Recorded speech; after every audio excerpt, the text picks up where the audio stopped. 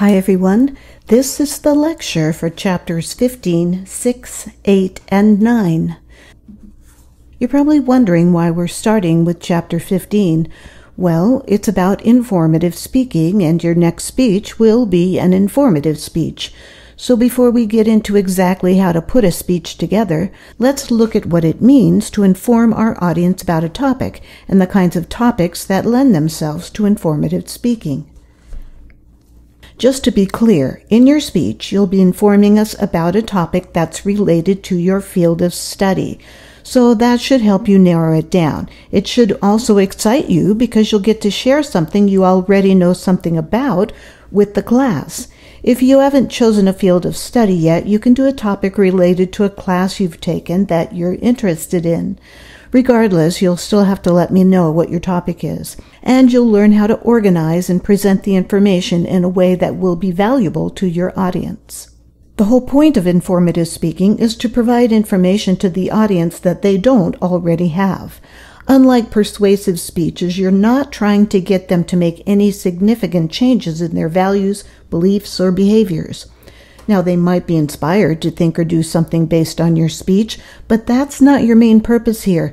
You're just trying to teach them something new in an understandable and interesting way. You should take advantage of the knowledge and strengths that you already possess and back that up with good research and source citations. Most informative speeches will fit into one of five categories speeches about events, speeches about people, speeches about objects, speeches about processes, and speeches about concepts. Let's look at examples of the different kinds of speeches within those categories that might give you some ideas about what informative speeches look like. First, speeches about events. An event is something that's happened, might happen, could happen, or will happen. Generally speaking, Events happen in a particular order, so when you're explaining them to an audience, the best way to do it tends to be in chronological order. That's not the only way to organize a speech about an event, but it's the most common. Here are two examples of this kind of speech. The first one is about how women gained the right to vote in the United States. It's definitely organized in chronological order, as you can see by the main points. The second one, although it's also about an event, is not organized in chronological order. It's about what caused the 2021 power outages in Texas. So it's actually organized in causal order. The first main point is about the effect, and the other two main points are about what caused it. Next is speeches about people. You can certainly choose your informative speech about a person who's somehow connected to your field of study, either a type of person or a specific well known person. Find a connection between that person and the audience and determine what the audience could learn from that person. Here's an example about the transgender actress Laverne Cox. This is organized chronologically, although sometimes these speeches are organized categorically. Then we have speeches about objects. Objects are things that exist, that have form. If it exists, we can talk about it, no matter how tiny or huge. So a quark or the universe or anything in between, we can give a speech about it. We need to be able to describe it in a way that the audience can understand and relate to it. A lot of speeches about objects are organized spatially or categorically. Here are some examples. This first one is about the human heart and it's organized spatially according to the different parts and where they're located and how they're connected. The other one is about a particular type of hearing aid and it's organized categorically. Speeches about processes have to do with how things work or how they're put together. Many of them are presented in a step by step process and are organized chronologically, like these. The first one is about school loan forgiveness and takes you through the steps of doing that. And the other one is about making a workbench and also takes you through steps. And finally, speech is about concepts, which are abstract ideas that could be theories, values, attitudes, or anything that doesn't fall into the other categories. They tend to be a little more complex than the other types of informative speeches. So it's important that you help the audience clearly visualize your ideas.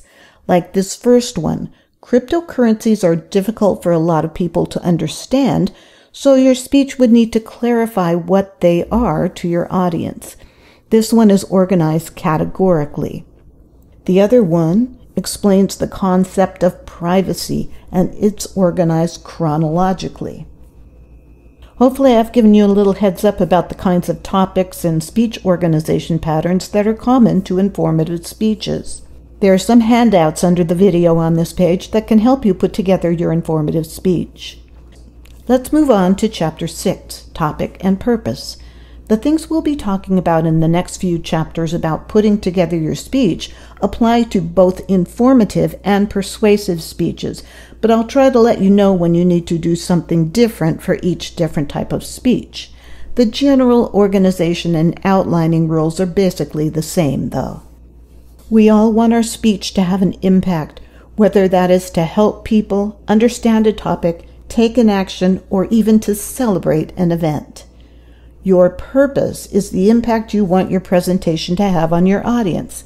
It's why you're there, why the audience is there, and what you want them to know, think, or do about your topic. Your purpose is your opportunity to make a difference, and it'll guide you as you prepare the rest of your speech. So, about your topic. What are you going to talk about? That's the first thing you need to know.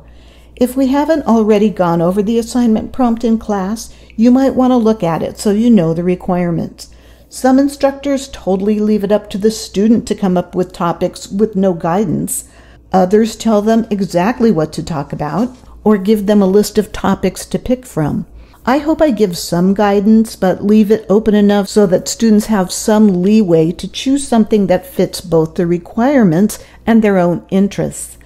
Often, brainstorming is a good way to pick a topic, where you just write down whatever topics come to your mind. Brainstorming can be a fun and inventive way to discover unique topics and approaches for your presentations. Try brainstorming with people who know you or your speaking situation, such as friends or classmates. Sometimes just chatting with another person can help you generate new ideas. Don't be afraid to ask around, or you can ask me if you just can't decide. Once you know your topic, you need to determine your purpose. There are three types of general purposes informative, persuasive, and connecting. We've already talked about informative, which is to teach or educate your audience about a topic, and then persuasive, which is to convince or change an audience's existing values, attitudes, or behaviors. Connecting speeches have to do with special occasions, like funerals, weddings, or award ceremonies, where your general purpose is to connect the audience members with each other and with the occasion. We don't do those speeches in this class, but the techniques you learn here will definitely help you should you ever find yourself in a situation where you need to. From your general purpose, you can determine your specific purpose. A specific purpose is a detailed goal, including the general purpose, public, topic, and outcome of your presentation. Having a detailed picture of your goal makes it much easier to plan your speech. Here's an example. If your topic is how to create a podcast, then your specific purpose could be to inform my audience of the different steps involved in creating and publishing a podcast. So you've got your general purpose to inform, you've got the public, my audience, and then you've got the topic and the outcome, the different steps involved in creating and publishing a podcast. Now that you have a specific purpose, you'll need a thesis statement. A thesis statement is a complete, concise, and clear sentence summarizing the main idea of your presentation. The goal of your thesis statement is to pique your audience's interest and help them remember the key takeaway from your presentation. If it's an informative presentation, you need to state the knowledge the audience will gain and the importance of that information. If it's a persuasive presentation, you need to state the change in attitude, value, or behavior that you recommend and the reason for that change. If it's a connecting presentation, you need to state the occasion that brings the group together as a public and the values represented by that occasion. Your thesis statements need to be concise. That means it needs to be brief enough to understand and remember. You need to summarize your main idea in a single sentence, ideally fewer than 25 words. Long, complex thesis statements are difficult to grasp and easy to forget. Rambling sentences and paragraphs do not qualify as thesis statements. Here's a good example for a topic, specific purpose, and thesis statement for an informative speech. This is a process speech organized in chronological order. The topic is podcasting. The specific purpose? To inform my audience of the different steps involved in creating and publishing a podcast. The thesis statement? In order to become a podcaster, you have to determine the topic and format of your podcast, purchase the correct equipment, create and record your episodes, and publish the episodes through a hosting service. So, in this chapter, you've learned about topics, specific purposes, and thesis statements. Once you do that, that will give you a roadmap for preparing the rest of your presentation. Try the Finding Your Topic exercise, purpose statement worksheet, and the thesis statement checklist. They'll help you get ready for the next steps. Let's move on to Chapter 8 Research and Citation. I know you probably know a lot about your topic at least for the informative speech, because it's connected to your career somehow. But even if you do know a lot about it, you don't know everything, and you need to acknowledge the limits of your own standpoint and the value of other people's knowledge and experience. That's where research comes in. Research is the systematic collection and analysis of information. To collect information, start early, have a plan, Take notes, track sources, stay open. You can't just assume you're going to figure it out. You need to do all of those things. Note taking could involve writing things down in a notebook or keeping a Word document open on your computer and copy pasting the source citation and whatever text you might want to use from an article into that document or printing articles out, whatever works for you. Just make sure that you're keeping track of where all this information comes from so you can cite it correctly, both in your bibliography and verbally during your speech presentation.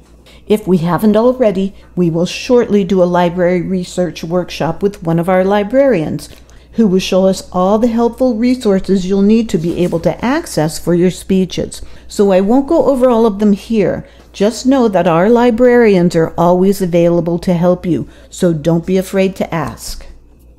While library resources are always the best places to find academic and professional sources of information, of course, you can always find a wide range of information on the web, although you need to be more careful to avoid information that may not be of the best quality or made by people with no expertise, experience, or knowledge of your topic, just an opinion about it. Also, you may be unaware of filter bubbles. That's when a search engine like Google uses your past search history, browsing behavior, and social media activity to filter the information it provides to you. You can avoid this by using DuckDuckGo or Brave Search to do your searching. You'll get more and different hits and be aware of pseudo academic sources. You may have used Google Scholar in the past. Unfortunately, it now contains many articles that are from predatory journals where anybody can pay to have their article published. So articles that have been rejected by legitimate journals often end up in these predatory journals. Stay away from Google Scholar. Use our library resources instead. You're paying for them anyway. Then you need to be aware of spoofed websites that look very much like the actual websites they're pretending to be. Usually the domain name is slightly misspelled. These sites tend to post disinformation or try to get your personal information to sell it. And of course, try to avoid anonymous sources if possible, since it's impossible to verify their credibility. Fake news has been a problem ever since there's been news. And I don't just mean labeling some news story fake because you don't like it. I mean stories that are actually made up, fabricated or distorted.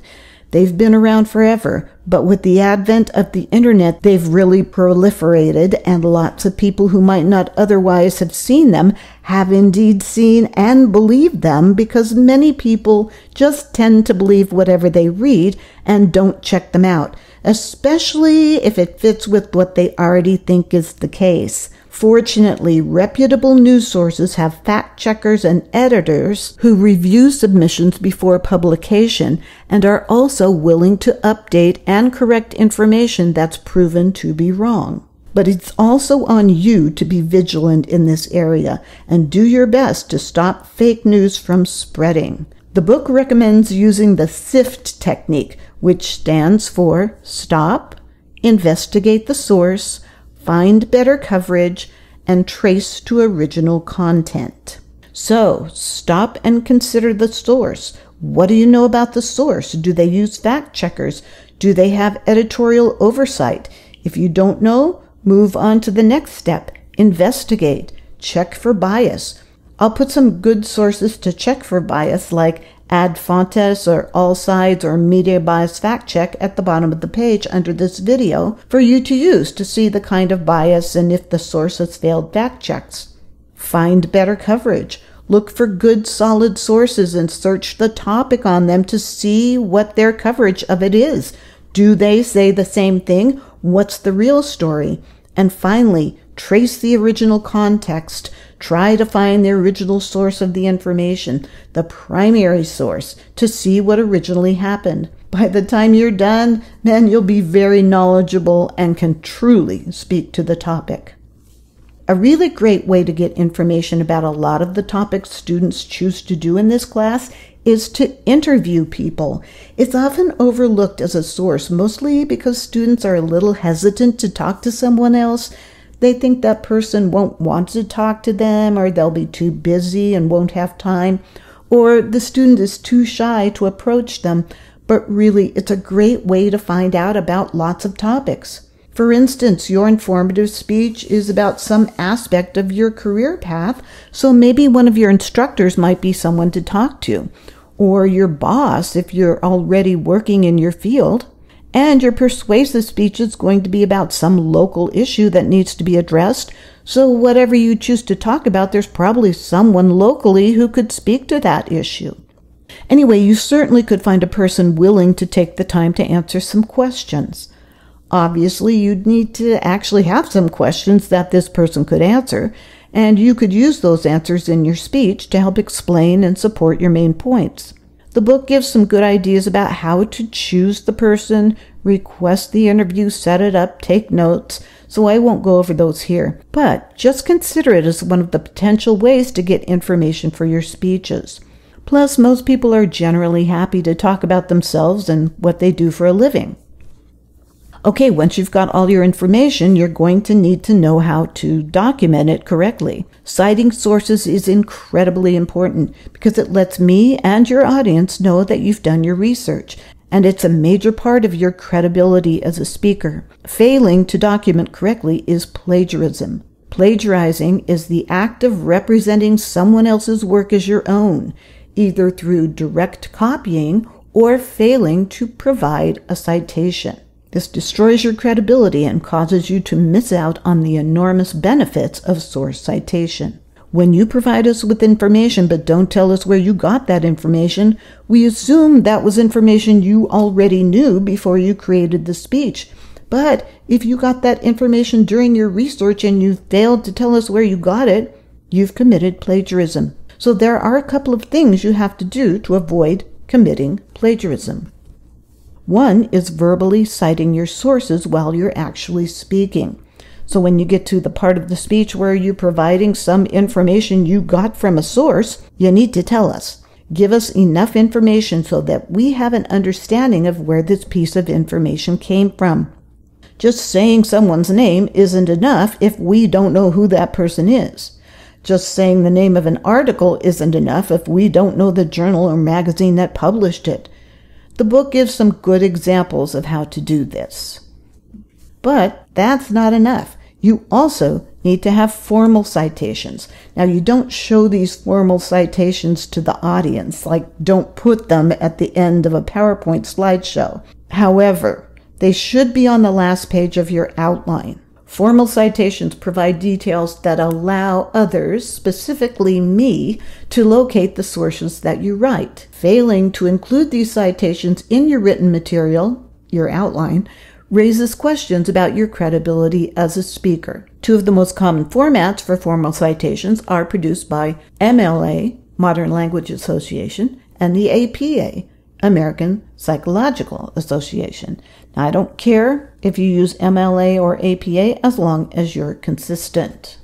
Hard to see here, but here are a couple of examples of the most common kinds of written bibliographical source citations.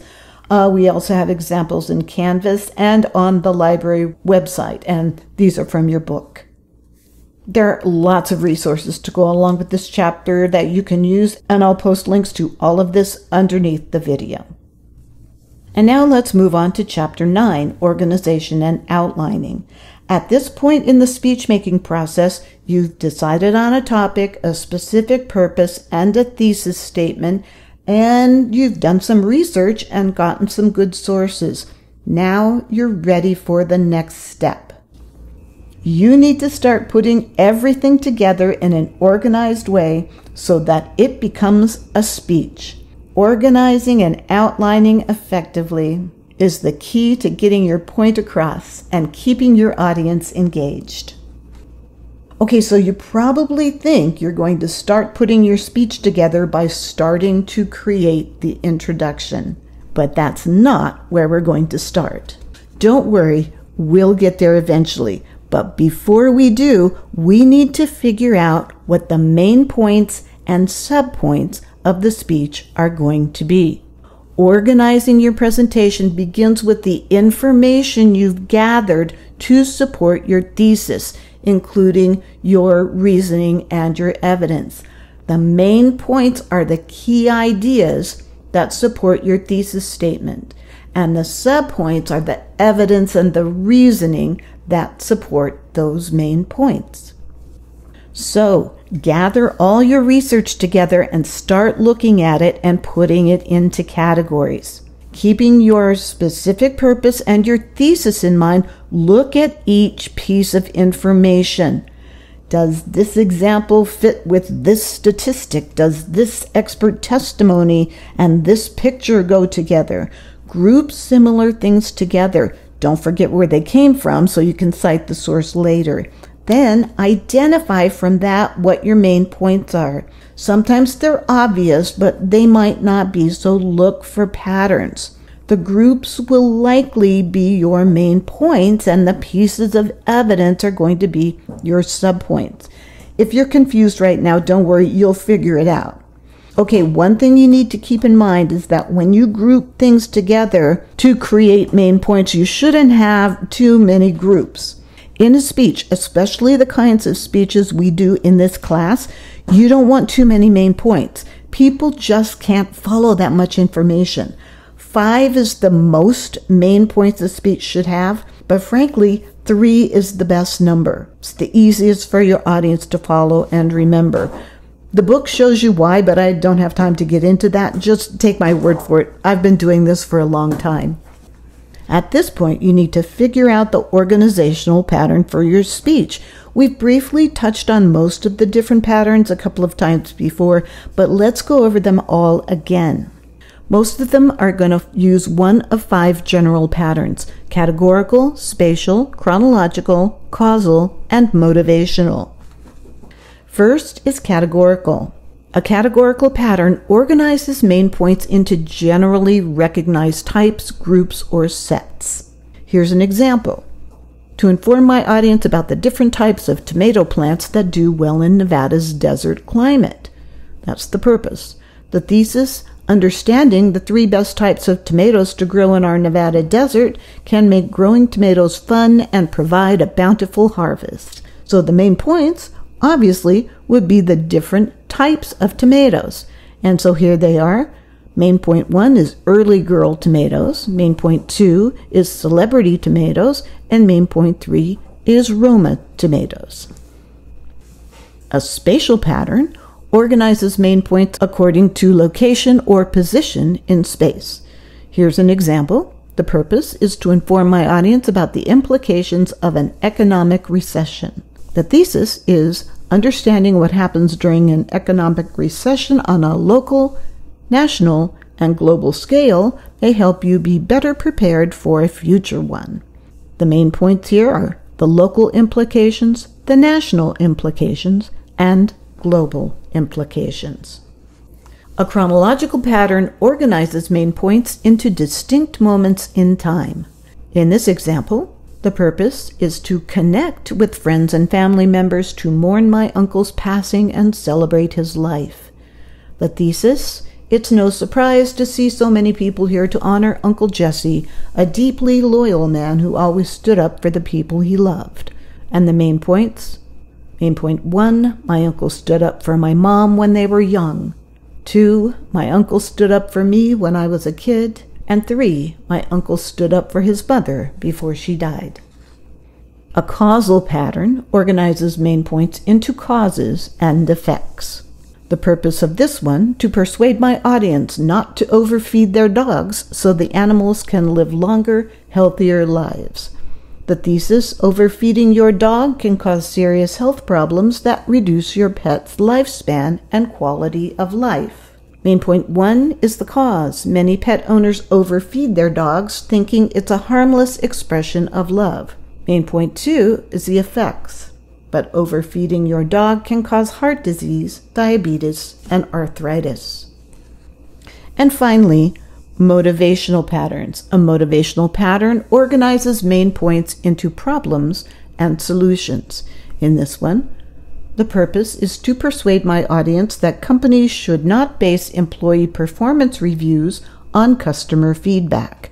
The thesis Companies should base performance reviews on feedback from fellow employees and managers because customer feedback is biased and unreliable.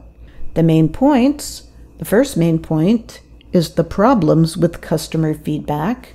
And this one is broken down into some subpoints here. A does not represent the average customer experience. B often displays race, gender, and age biases. Main point two solutions for better performance reviews. A. Peer evaluations. B. Management observations. So, once you've figured out how the main points in your speech are going to be organized, then you need to figure out how you're going to move from one idea to the next one. You'll need what are called signposts. Just like signposts on the road, signposts in a speech tell the audience where they are now and where they're going next. The most important kinds of signposts are called transitions, and you use them between your main points when you finish one and are ready to move to the next one. If you don't use them, your speech will be very disjointed. You'll be talking about one thing and all of a sudden you're talking about something else. That can make it difficult for your audience to keep up. How do transitions work? The book gives a formula for creating effective transitions. Use this simple formula. Closing anchor, where you restate the current point. You have a bridge where you signal a change in topic or focus, and then an opening anchor where you state your next point. Here's an example. So, as you can see, using customer feedback to determine how well an employee is doing can be very problematic. But what could be done instead? Well, I've got some ideas that involve in house evaluations and observations. Let me share them with you. This speaker moves very nicely from the main point discussing the problems to the next part where they begin to talk about their solution to the issue. If they just stopped talking about the problem and started talking about the solution, people would have been confused. But they're not now because they know where the speaker is in his speech. And that's what you need to do every time you move from one main point to the next. Okay, now we're at the introduction part. Well, actually at the introduction and conclusion part. Hopefully you understand now that it's important to figure out what your main points are before you create your introduction because it will make your introduction much more effective. The introduction will be the first words that come out of your mouth regarding the speech. So it's got some heavy lifting to do, and it's important to get it right. A good introduction does four critical things. It gets the audience's attention, it shares the speaker's connection to the topic, it states the presentation's thesis, and it previews its main points. The conclusion, which are the final words of your speech, is almost as important. It does three critical things. It indicates your presentation is ending, it reviews your main points, and it emphasizes what you want your audience to take away from the presentation. The reason the intro and the conclusion are so important is because of three psychological effects. The first one is called the framing effect. Introductions and conclusions frame your audience's perceptions of the information and show them what to focus on. Then we have the primacy effect, in which we tend to remember and place importance on our first impressions of a speech, and the recency effect, which is our tendency to remember and place importance on our last impression of a speech. This doesn't mean that what happens in the middle isn't important. Of course it is. But the impressions that we take away from the speech tends to be stronger in the beginning and the ending. It's just the way our brains work. So it might be a good idea to make sure your introduction and conclusion meet all of their functions and are effective, interesting, and memorable. Let's look at putting together an introduction. The first step is to get your audience's attention. You really need to determine what will catch their attention and connect it to your topic quickly. In fact, you only have about 15 or 20 seconds to accomplish this. Some speech teachers call this part of the introduction the hook. Like a hook on a fishing line, it needs to be catchy and interesting and pull them in to want to hear what you have to say. Here are a few common strategies. Surprising facts or statistics, like this one. Did you know that the average drunk driver drives while intoxicated more than 80 times before their first arrest? Or stories. How about this one? In 1781, Deborah Gannett disguised herself as a man and enlisted to fight in the Revolutionary War. There's obviously more to that story. Or quotations. The great civil rights leader W.E.B. Du Bois once wrote, The cost of liberty is less than the price of repression. Or even rhetorical questions or hypothetical situations like this. When you turn on the kitchen faucet, water comes out. That's just something we take for granted. But have you ever wondered where that water comes from and how it got to your tap? Next, you have the credibility step. Let your audience know why they should listen to your unique perspective. Now, you don't have to be an expert in the topic, although you should certainly know something about it, and you should have done enough research to speak about it. The following are a few ways to share your commitment to your topic with your audience. You might have some kind of experience about it. Maybe you were hit by a drunk driver and your car was totaled, so you have an obvious interest in it. Tell that to us or you might actually have some expertise on the topic. Maybe you're a proud member of the National Guard and know what it is to be a woman who serves her country.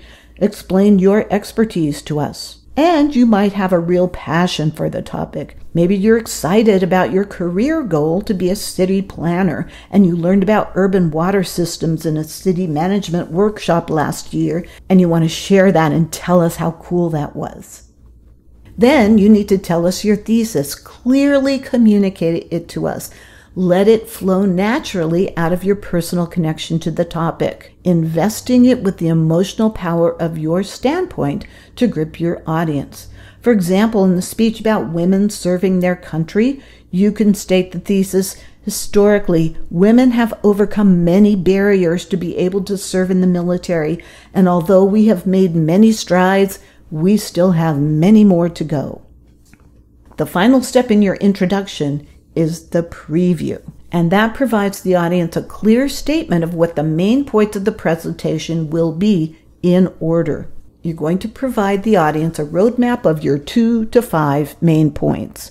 And the way you present your preview is going to depend on your speaking situation and the structure of your speech. For the women in the military speech, it's very likely because it's a historical, informative speech to be in chronological order. So it's probably going to be something like this. So, today I'll inform you of the different roles that women served in the military in our past, how women's military roles changed from the 1990s to the present, and finally, we'll look at how far we still have to go. Okay, once you've got the introduction planned out, now you can tackle the conclusion. The first thing you need to do is cue the ending. You definitely need to let the audience know you're at the conclusion. You can switch to past tense and say, Today I've shown you. Or you can say in conclusion or in closing, or I'd like to close by, and then moving on to your review.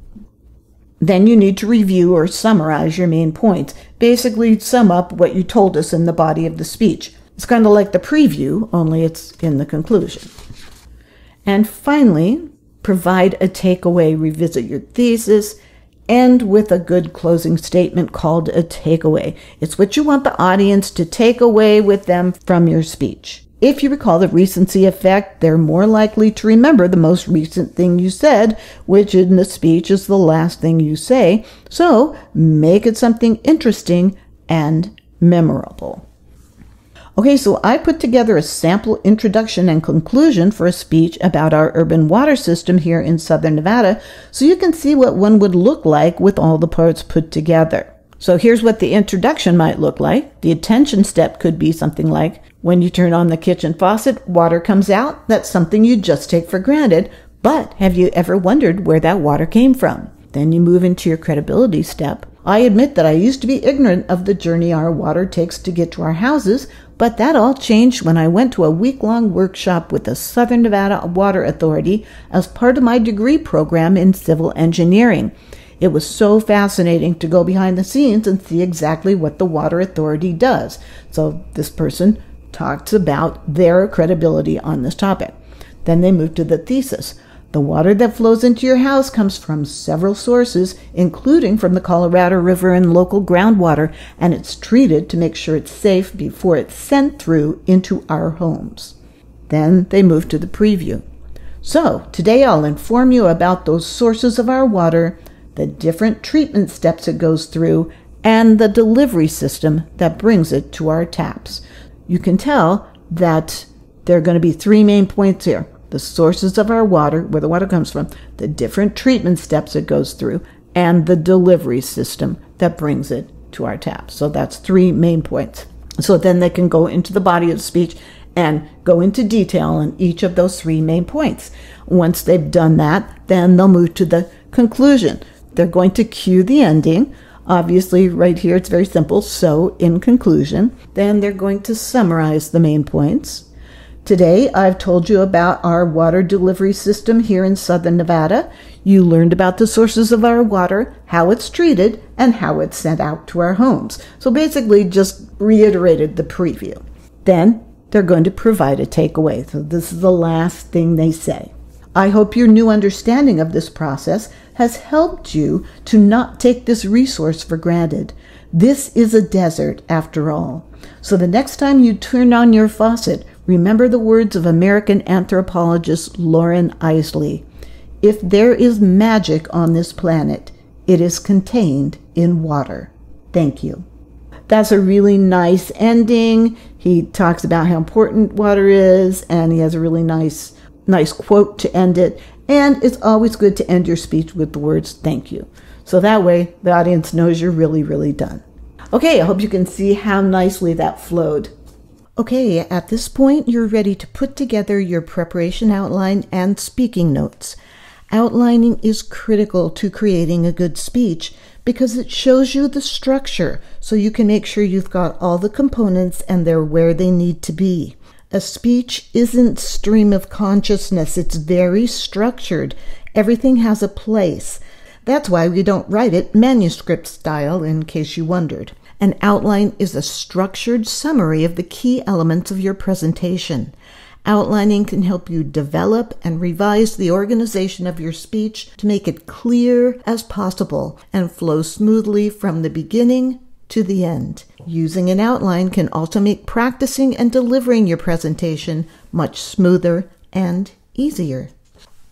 Your preparation outline is a detailed, full sentence outline containing every substantive idea, argument, concept, and fact in your presentation. Preparation outlines help you organize your presentation and ensure that your organization is sound. If your speaking situation requires a specific format, always follow the guidelines you've been given. I always try to use the formatting guide given in whatever textbook I'm using, so do your best to follow it. Here's an example of an outline that's formatted correctly. There's a copy of this outline as a Word document underneath this video on the Canvas page, so you can open it, print it out if you wish. You can even use it as a template for your own outline if you want. Let's take a closer look at it here so you can see how it's put together. As you can see, the topic, specific purpose, and thesis statement are always at the top of the page followed by the organizational pattern, which in this case is chronological. All parts of your outline need to be labeled. So you label the introduction, then all the different parts of the introduction, label the transitions, that's the sentences you use to get from one part of the speech to another.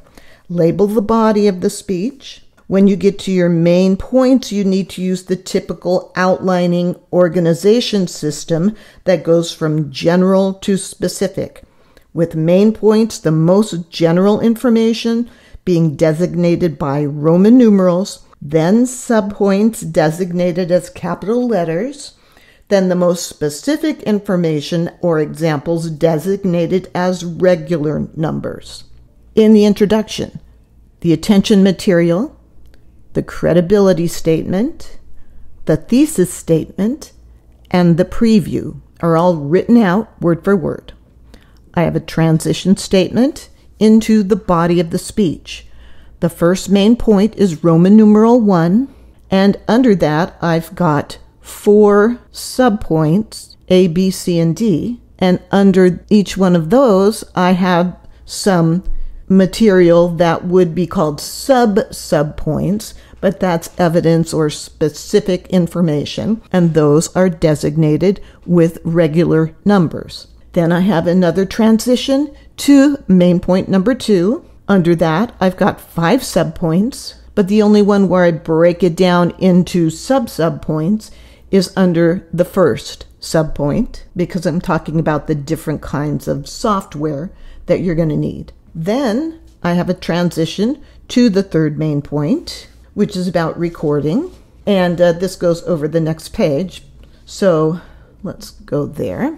So then I would have five subpoints for that third main point. Some of them are broken down into sub subpoints, and some are not. Then I have a transition into the fourth main point, which is broken down into three subpoints. Then I label the conclusion and label each part of the conclusion, cueing the ending, reviewing the main points, and the takeaway. Then I have a works cited page with the different sources in MLA format. So that's how you format your preparation outline. Once you have your preparation outline, you're going to use that to prepare your speaking outline. Now, the preparation outline is used to prepare the speech the speaking outline or speaking notes, they could be called either. That's what you actually use to deliver the speech. A speaking outline is a brief keyword outline for delivering your presentation.